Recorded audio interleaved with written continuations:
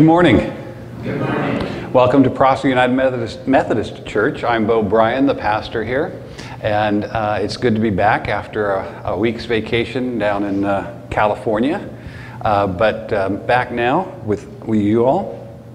I do have an announcement for those online, and that is that if um, you would like to take communion today with us, I will be going through the communion liturgy. If you would like to pause the video, get something to drink, and a little piece of bread or cracker, uh, please do that now, and then we'll um, do the communion part later on.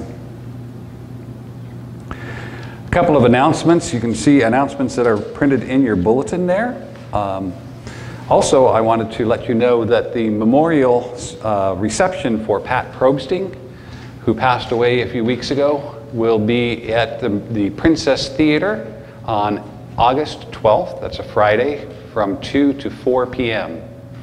Uh, Pat was a very active member in this church for many, many years.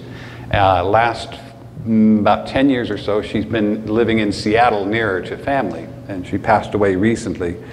Uh, these banners that you see over there on the side and up here at front uh, are, are banners that she made. She was very uh, artistically oriented uh, and uh, provided a lot of that in our church. And so we will definitely miss her uh, in this, but we'll um, definitely want to uh, say goodbye in that memorial reception there. And now remain standing and turn in the back of your red hymnals to page 804 for Psalm 82. And our now our liturgist this morning is Elisa Riley, and she will be leading us through the psalm. She will be reading the light face print, and uh, we will respond with the dark face print, bold face print. And uh, we do have a red R, but we will not be singing the sun response, so we'll just go through the reading part of this.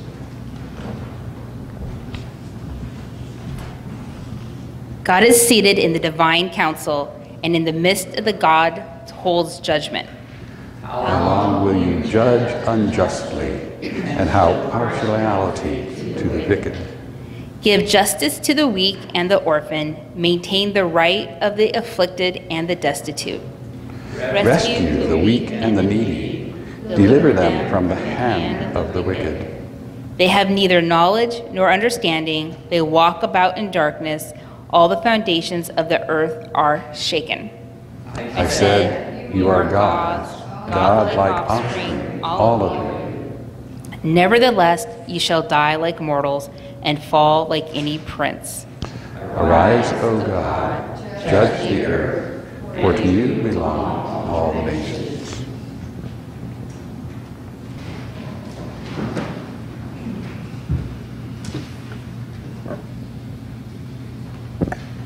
Please join me in the opening prayer.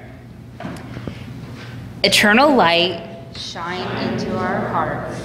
Eternal goodness, deliver us from evil. Eternal power, be our support. Eternal wisdom, scatter the darkness of our ignorance. Eternal pity, have mercy upon us, that with all our heart and mind and soul and strength we may seek your face and be brought by your infinite mercy to your holy presence through Jesus Christ our Lord. Amen. And please join me in our reading 1 Timothy chapter 4. Verse 4.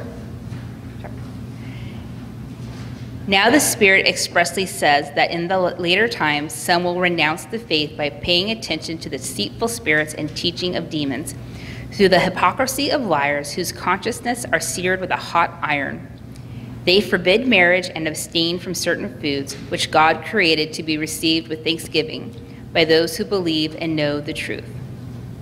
For everything God created by God is good, and nothing is to be rejected, provided it is received with thanksgiving, for it is sanctified by God's word and by prayer. If you put these instructions before the brothers and sisters, you will be a good servant of Jesus Christ, nourished on the words of the faith and of the sound teaching that you have followed. Have nothing to do with profane and foolish tales. Train yourself in godliness, for while physical training is of some value, godliness is valuable in every way, holding promise for both the present life and the life to come. The saying is sure and worthy of full acceptance. For to this end we toil and suffer reproach, because we have our hope set on the living God, who is the Savior of all people, especially of those who believe. Command and teach these things. Let no one despise your youth, but set the believers an example in speech and conduct, in love, in faith, in purity. Until I arrive, give attention to the public reading of Scripture, to exhorting, to teaching. Do not neglect, neglect the gift that is in you which was given to you through prophecy with the laying on of hands by the council of elders. Put these things into practice, devote yourself to them, so that all may see your progress. Pay close attention to yourself and to your teaching. Continue in these things, for in doing this, you will save both yourself and your hearers.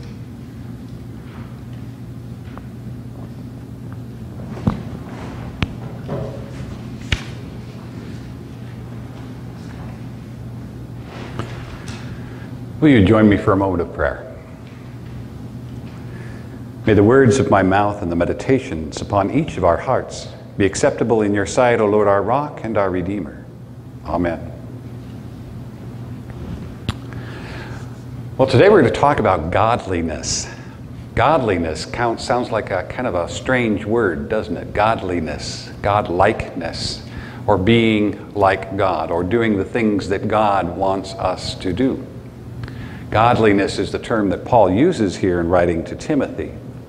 And there's a couple of ways that he talks about that, or that he um, refers or, or shows what godliness is. This first section, the first five verses of this chapter, he's actually talking about what it is not. Uh, and uh, apparently, at this time, this is sort of second generation uh, of the of, of, believers. You know, it's been a while since um, Jesus rose from the cross and the churches have all gotten started. And Paul's been out doing his missionary journeys, and the churches have, uh, are, are, growing. And, and, uh, and so it's like second generations are starting to come in now. So there's not this ex- immediate expectation that something's going to happen, like there was right after Jesus went, uh, uh, went up, ascended into heaven. Um, there was sort at the beginning there was sort of this expectation well jesus is going to come again pretty soon we think you know? And then after time kind of wore on uh, then it began they began to settle in and say well maybe it's not coming right away uh, but jesus is still coming at some point. At first, Paul wrote to, when his early letters, wrote to people and, and kind of advocated for people uh, to be ready for that day uh, and to not think about things like getting married and starting families and that sort of thing because this was going to happen really soon and everything was going to change anyway. So uh, let's just be ready for that. But now, after this extended period of time, Paul has revised the, his way of thinking.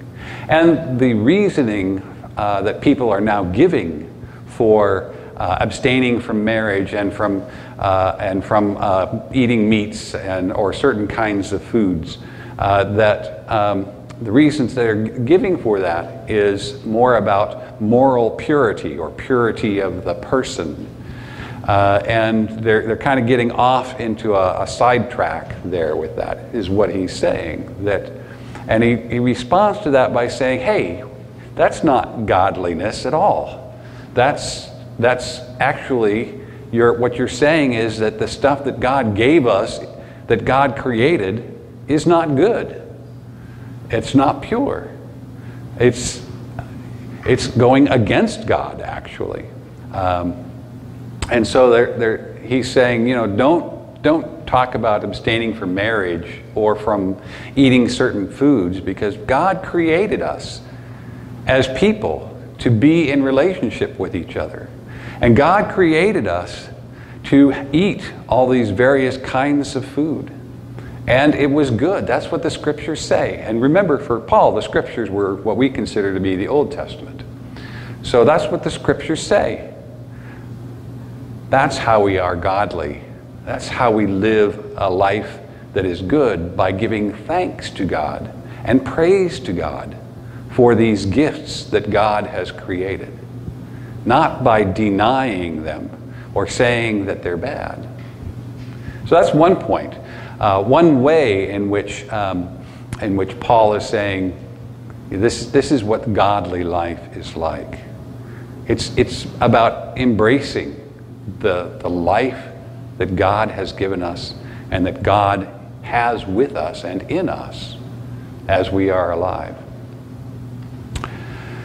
Then the second part of it uh, has to do more with our practice. In, in fact, he ends up uh, this, this chapter with the word practice. Put these things into practice and devote yourself to them.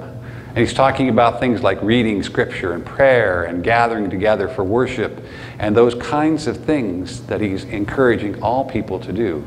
Now, it does sound like he's talking just to Timothy, but you also notice in verse 6 that he's, he's telling Timothy, read these things out to all of your people too. Remember, I talked when we got started on this letter to the uh, letter to Timothy that although it's written to Timothy and refers to him uh, many times, it was a letter that was meant to be read out to the church, and not just Timothy's church, but all churches. And these are instructions for all of us as Christians. And so, in ways to be godly, when he talks about um, train yourself in godliness, ways to be godly are practicing these things throughout our lives. We. Um, as human beings, we tend to compartmentalize things a lot. Maybe some people do it more than other people. Some people are better at integrating things and parts of the various parts of their lives, but other people tend to compartmentalize it. So we have, we have our work life, and we have our home life, and we have our church life, and they're all different compartments. And we uh, uh, can get into this, this way of living where everything is separated from each other. And what Paul is advocating for Timothy is no, no, no. That's you're supposed to integrate it more, all of it together. Practice these things all the time and with each other so that you are all together learning more about your relationship with God, growing in that relationship with God, continuing in that relationship with God. And that's a lifelong thing. That's something we do for our entire lives.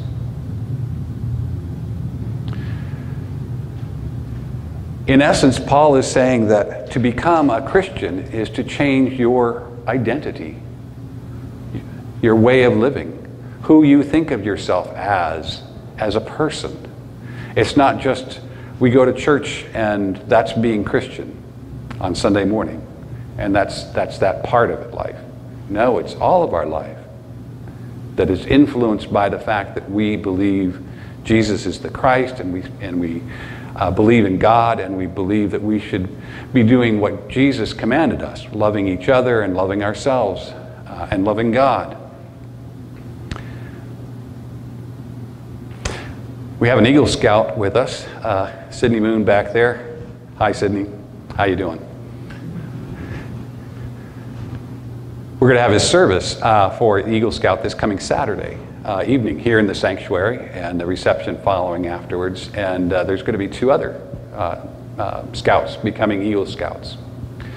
One of the things about becoming an Eagle Scout is not is exactly what I was just talking about. It's not just a, uh, a ceremony that you go through and you get the badge and the patch and and uh, and, and, then you get cake afterwards, and then that's it.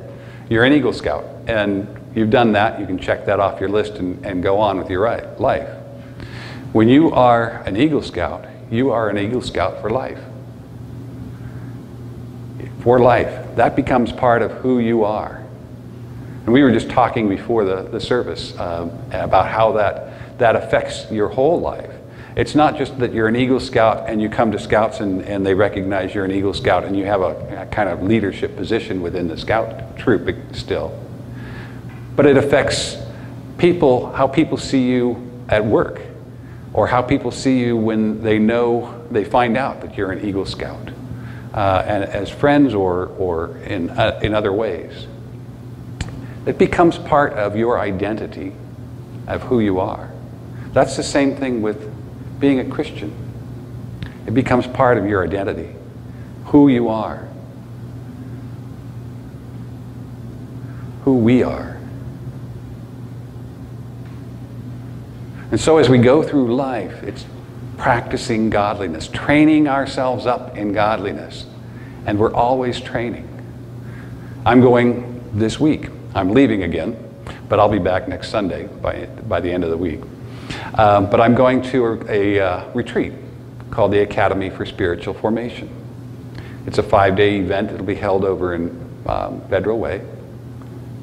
It's part of the process that people can use to learn and to grow in their own spiritual formation, in their own identity as Christians. We all have ways of doing that, and he lists some of them there. Those are the things that we are to do to fulfill and to build up that identity as Christians throughout our lives. So we are called to godliness. That doesn't mean we're um, going around um, preaching Christ to everybody on the street kind of thing. But it means that we are Christians. It means that we are following the example of Christ. That we see ourselves as that all the time. And that we learn how we are to act as Christians and to be as Christians with each other, with our families, with the world around us. Godliness.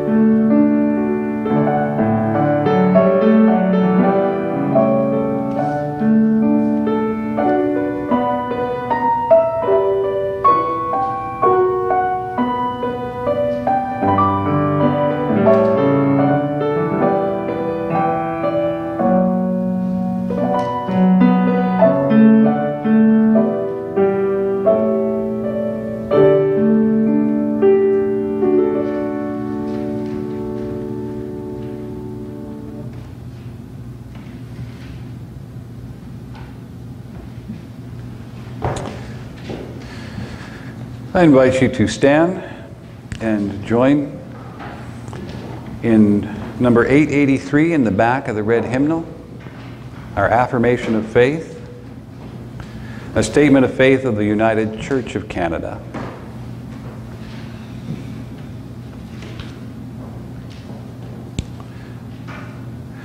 We are not alone. We live in God's world.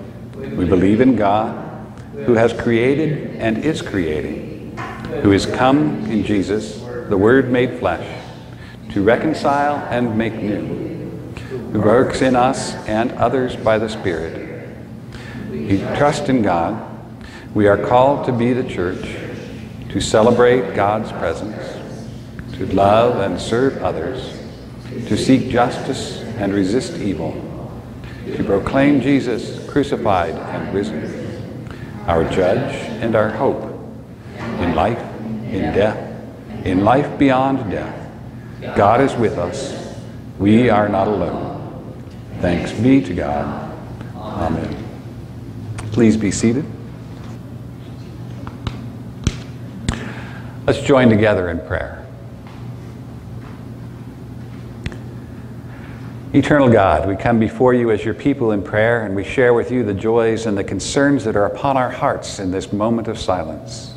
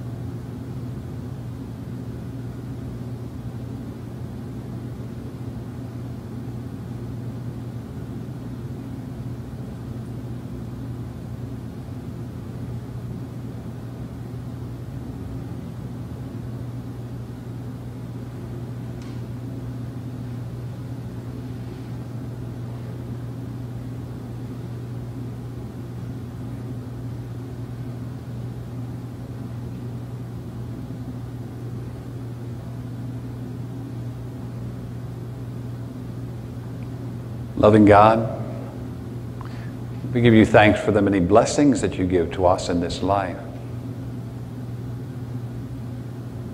For the blessings of sun and shade, daytime and nighttime,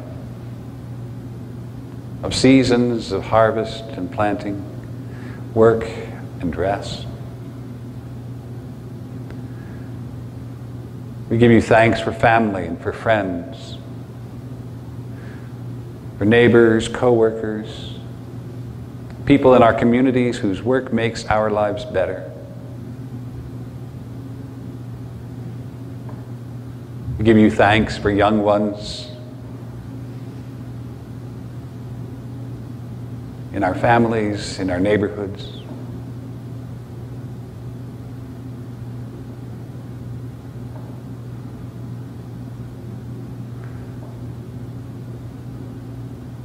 Lord, we give you thanks for the many good gifts that you give to us.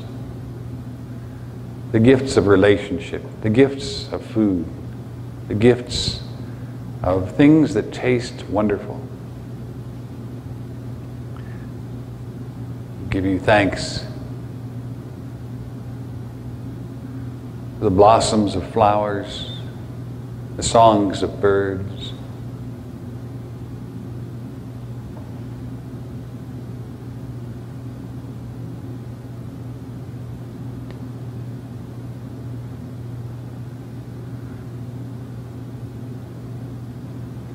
Lord, we pray for those who are in need in our communities, in our country, and around this world. We pray for those who are hungry, those who do not have clean water to drink, those who have no homes, those who are refugees those living in places of war and instability.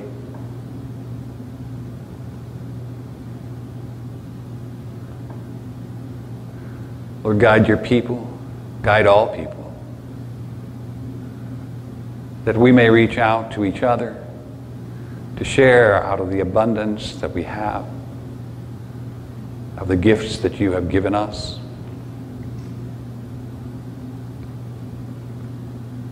So that all may have those gifts.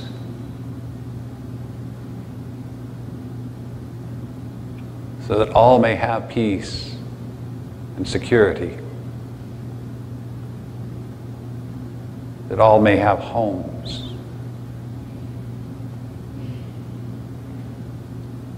that all may be loved and accepted for who they are. Your children.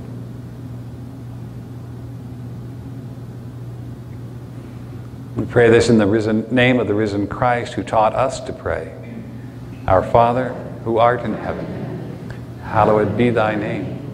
Thy kingdom come, thy will be done, on earth as it is in heaven. Give us this day our daily bread and forgive us our trespasses, as we forgive those who trespass against us. And lead us not into temptation, but deliver us from evil. For thine is the kingdom, the power, and the glory forever.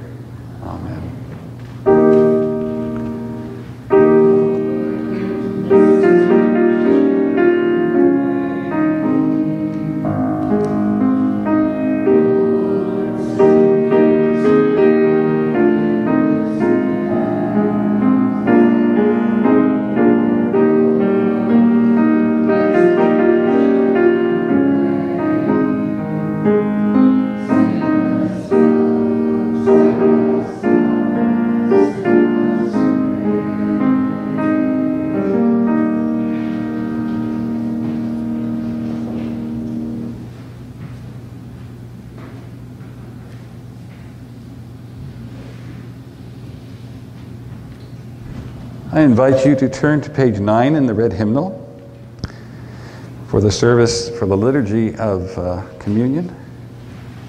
You will not have all of the words that I will be saying starting at the bottom of that page, but you will have the same cues as to when to you, you are to come in for your parts. As always in the Methodist Church, you do not need to be a member of this or of any congregation to take communion, simply come forward down the center aisle. Um, take the bread that I will hand you, dip it into the cup that Elisa will be holding, and uh, then return to your seat. And um, if you are not able to come forward, uh, we will come to you with that uh, uh with bread and the cup.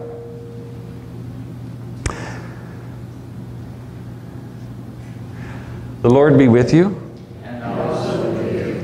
Lift up your hearts. Let us give thanks to the Lord our God. It is right and a good and joyful thing always and everywhere to give thanks to you, Almighty God, Creator of heaven and earth. You formed us in your image and breathed into us the breath of life. When we turned away and our love failed, your love remained steadfast. You delivered us from captivity, made covenant to be our sovereign God, and spoke to us through your prophets, who looked for that day when justice shall roll down like waters, and righteousness like an ever flowing stream. When nation shall not lift up sword against nation, neither shall they learn war any more. And so, with your people on earth and all the company of heaven, we praise your name and join their unending hymn.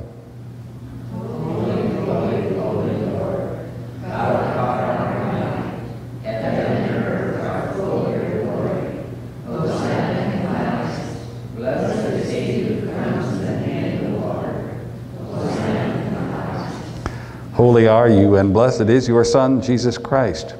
Your Spirit anointed him to preach good news to the poor, to proclaim release to the captives, and recovering of sight to the blind, to set at liberty those who are oppressed, and to announce that the time had come when you would save your people.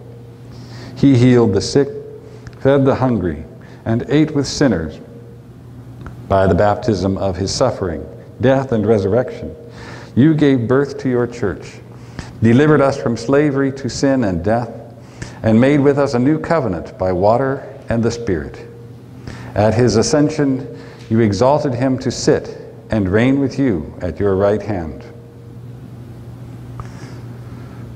On the night in which Jesus gave himself up for us, he gave thanks to you, broke the bread, gave it to his disciples, and said, Take, eat.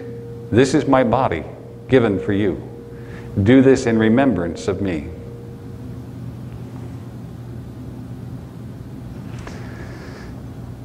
And likewise, when the supper was over, Jesus took the cup, gave thanks to you for it, gave it to his disciples, and said, Drink from this, all of you.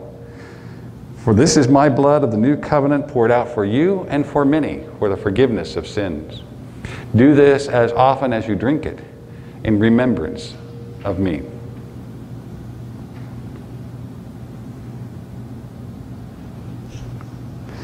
And so, in remembrance of these your mighty acts in Jesus Christ, we offer ourselves in praise and thanksgiving as a holy and living sacrifice in union with Christ's offering for us as we proclaim the mystery of faith.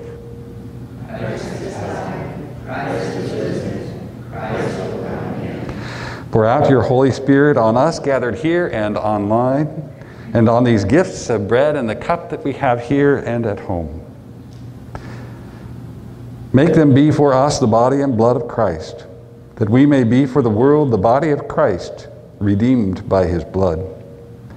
By your Spirit, make us one with Christ, one with each other, and one in ministry to all the world, until Christ comes in final victory and we feast at his heavenly banquet. Through your Son, Jesus Christ, with the Holy Spirit in your holy church, all honor and glory is yours, Almighty God, now and forever. Lisa, will you come forward? Oh, Donna's going to come forward. Okay.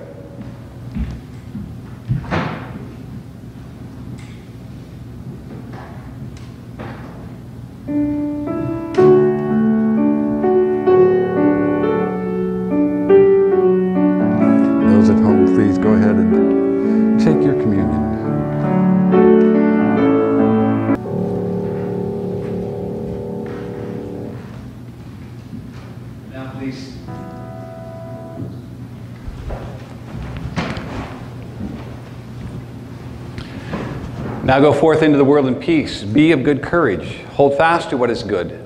Repay no one evil for evil. Strengthen the faint hearted. Support the weak. Honor the, all people. Help the afflicted. Go and serve God in all that you do.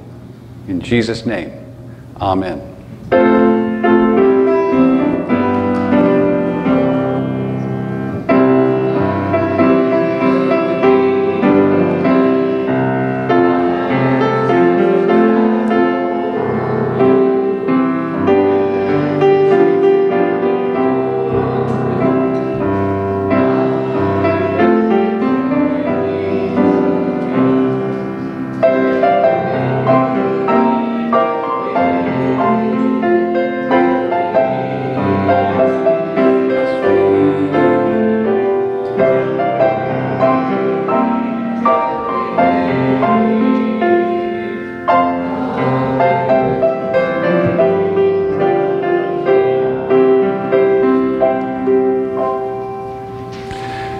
One more announcement I just wanted to make before um, we leave. I forgot to do earlier in the day. We do have the Hispanic Church back here again, meeting with us in the in our space in the afternoons.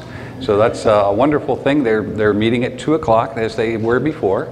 So uh, just wanted to let you all know that that's happening now uh, uh, once again. So that's that's a good news. Now, go forth in peace